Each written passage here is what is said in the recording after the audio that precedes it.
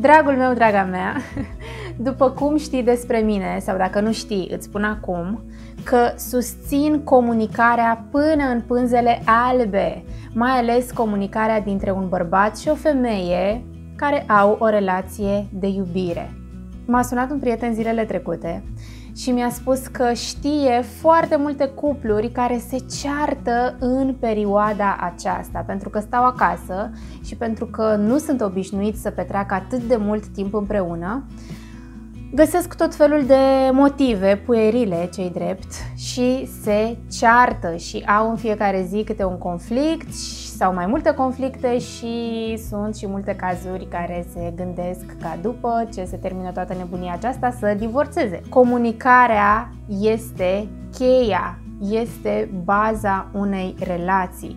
De aici pornesc foarte multe lucruri. Dacă nu știi cum să comunici sau dacă comunici în mod mecanic și ești ghidat de reacții și de emoții mai puțin plăcute, lucrurile iau o întorsătură care nu este în favoarea nici unuia dintre voi. Așadar, în videoul de astăzi o să vorbesc despre cum comunică femeia și cum comunică bărbatul, pentru că deși suntem aparent la fel, comunicăm în moduri diferite.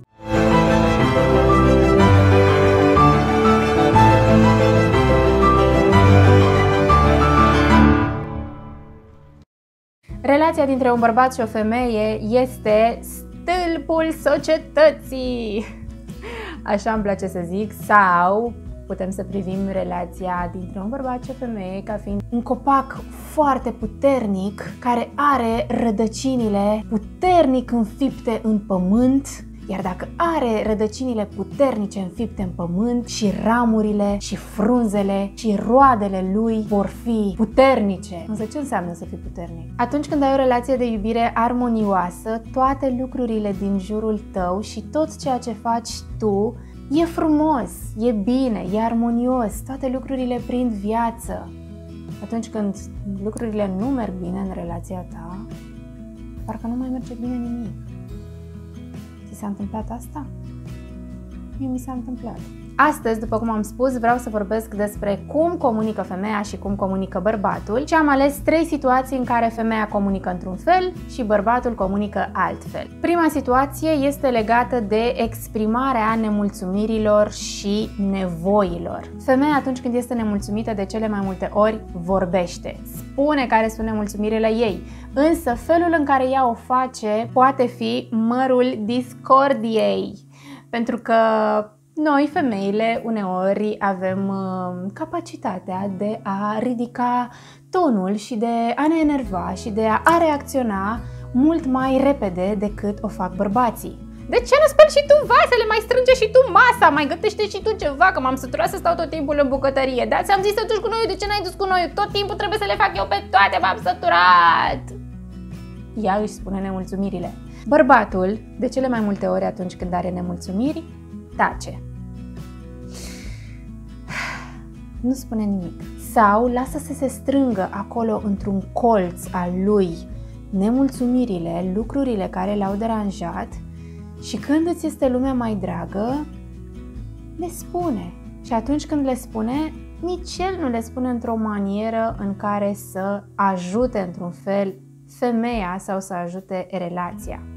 Ei bine, calea care vă ajută pe amândoi este undeva la mijloc. Tu ca femeie să ajungi să-ți controlezi aceste reacții instinctive de a țipa, de a te supăra, de a trânti vasele prin casă, iar tu, bărbate, spune ce ai de spus atunci când se întâmplă lucruri respectiv. Și amândoi învățați cum să faceți lucrul acesta. Nu țipați unul la celălalt, nu vă spuneți cuvinte care să vă doară, nu vă înjurați, nu vă jigniți. Amintiți-vă că vă iubiți unul pe celălalt, că vă doriți binele unul altuia și că rezolvarea nu stă în a țipa sau a pleca și nu a vorbi despre ce se întâmplă în interiorul tău. Vorbiți din inimă unul cu celălalt și nu din partea voastră instinctivă. A doua situație este legată de așteptări și de dorințe.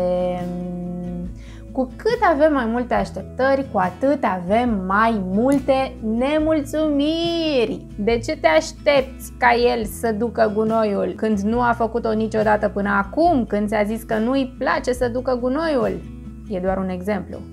Ne închipuim uneori că celălalt ne citește așa gândurile și știe ce ne dorim, da, sunt anumite situații în care se întâmplă lucrul acesta, în care celălalt ne citește gândurile și știe ce ne dorim, însă aceste situații nu sunt atât de dese. Iar când se întâmplă, este foarte frumos că se întâmplă. Însă, de cele mai multe ori, este nevoie să cerem. Cere femeie ce vrei, cere bărbat ce vrei. Nu-ți crea așteptări și nu-ți face iluzii că ea știe sau că el știe ce tu îți dorești. Nu te sfii. E bărbatul tău, e femeia ta. Cere de la el ce ai nevoie, cere de la ea ce ai nevoie. E adevărat că noi femeile cerem mai puțin și ne imaginăm mai mult că voi ne citiți gândurile. Lucrăm la asta. A treia situație este legată de treburile casnice. Dragilor, este foarte frumos să vă ajutați unul pe celălalt. Anumite lucruri pe care le face bărbatul nu poate să le facă femeia și invers, anumite lucruri pe care le face femeia nu poate să le facă bărbatul. Când bărbatul are nevoie de o cămașă să fie călcată, tu, femeie, pentru că ești femeia lui, îi calci bărbatului tău cămașa. Iar dacă femeia are nevoie să bată un cui în perete pentru că vrea ea să pună nu știu ce tablou, că așa vrea ea să pună nu știu ce tablou, tu ca bărbat nu o lași pe ea să bată un cui în perete, că asta e treabă de bărbat.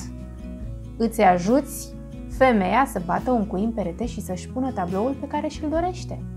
Ajutați-vă unul pe celălalt. Ăsta a fost un mic exemplu. Sunt sute de situații în care avem nevoie unul de celălalt. Ceea ce ajută foarte mult în această situație, la treburile acestea casnice, sunt regulile. Stabiliți reguli și stabiliți-vă sarcinile. Reguli și sarcini. Împărțiți-vă sarcinile. Pe foaie puteți să scrieți, ca să aveți acolo dovada. Eu fac asta, asta, asta, asta, asta, tu faci asta, asta, asta, asta, asta. Iar acele sarcini să fie împărțite în mod egal, să nu aibă unul 10 sarcini și celălalt 20 de sarcini.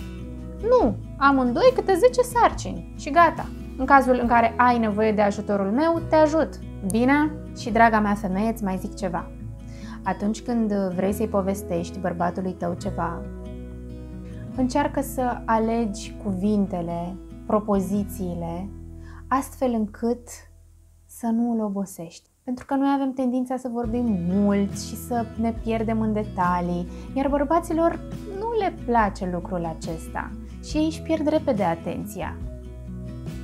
Așa că data viitoare când te întreabă ceva sau când tu vrei să-i povestești ceva, alegeți propozițiile și ideile care sunt cu adevărat necesare ca el să le poată reține și să te poată asculta. Nu spune tot ce-ți vine în momentul ăla la gură. Alege. Iar ție bărbat, dragul meu bărbat, exprimă-ți mai des nevoile emoționale. Noi avem nevoie să știm că nu ești o stană de piatră.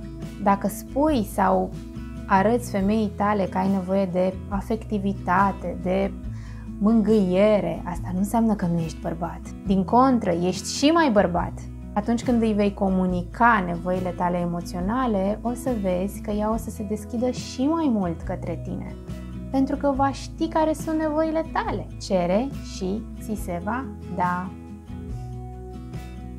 Acestea fiind spuse, dragul meu, draga mea, îmi doresc pentru tine să ai o relație armonioasă și să te bucuri de timpul pe care îl petreci acum cu omul pe care l-ai ales. Bucură-te de lucrul ăsta, pentru că acum o lună de zile spuneai că nu ai timp sau ea se plângea sau tu te plângeai că nu aveți timp să petreceți împreună. Ei bine, acum este timpul să petreceți împreună mai mult timp. Deci bucurați-vă de asta, bucurați-vă unul de celălalt și comunicați de la inimă la inimă. Vă pup pe amândoi!